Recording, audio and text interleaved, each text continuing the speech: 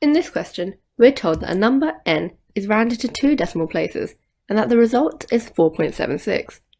Now using inequalities, we need to write down the error interval for n.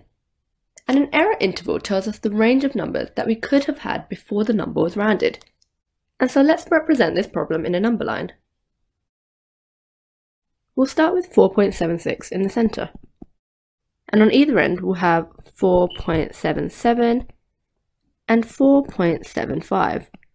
And so in between this we'll have 4.755 and 4.765.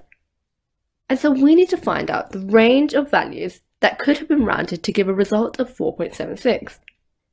So looking at 4.755, if we round that to two decimal places, we'll get 4.76. But if we go any number less than that, let's say for example 4.753, that will round down to 4.75. So let's take a look at the numbers in between 4.755 and 4.76. Let's say 4.757. If we round that to two decimal places, that will round up to 4.76. And so we can see that any number below 4.755 will not round to two decimal places to 4.76. But 4.755 will round to two decimal places to 4.76, and so will the numbers in between that and 4.76. So now let's look at 4.765. If we round 4.765 to two decimal places, we'll get 4.77, which isn't the same as 4.76. But let's take a look at the numbers in between. If we have 4.762, that will round down to 4.76. What about the really small numbers below 4.765?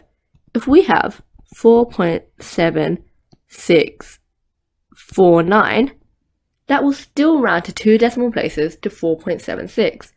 And so we can see that the numbers below 4.765, but not including, will round to two decimal places to 4.76.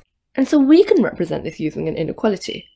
We've found that any number between 4.755 and 4.765 can round to two decimal places to 4.76. But this is including 4.755 and not including 4.765. So let's write this down as our answer.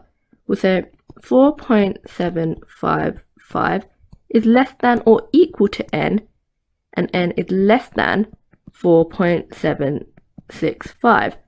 So what we're saying here is that n is more than or equal to 4.755, but is less than 4.765. This question is worth 2 marks, so let's take a look at where we'll get these 2 marks. The first mark is for including 4.755 as the lower bound, and making sure we have that including sign which is the line underneath the less than. So that's our first mark. The second mark will be for identifying the upper bound as 4.765. But this is not including 4.765, and so we just have a less than sign without the line underneath.